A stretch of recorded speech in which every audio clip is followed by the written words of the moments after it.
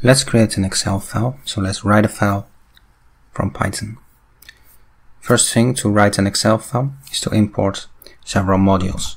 So we'll import these modules, which is the pandas module to manipulate Excel and some others. Then we need a so-called data frame. So you can define a data frame using the pandas module. And the data frame is just a structure that will uh, let you define the content. So let's say the first uh, row and then some numbers here. Then the second row and we'll want to store that into a data frame object. So it will output a data frame object. Then you'll want to create a new file.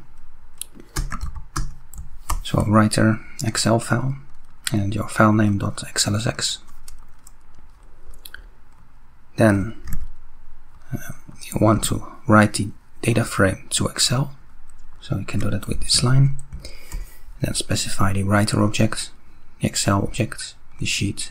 That's it. And finally save it. So now if you run this code, um, if you run this code, you'll see we don't have an object yet. Um,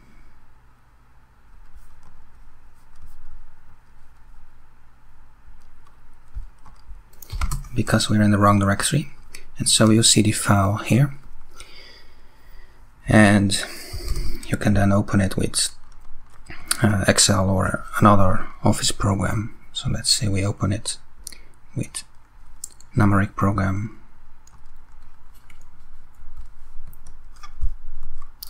And open the file.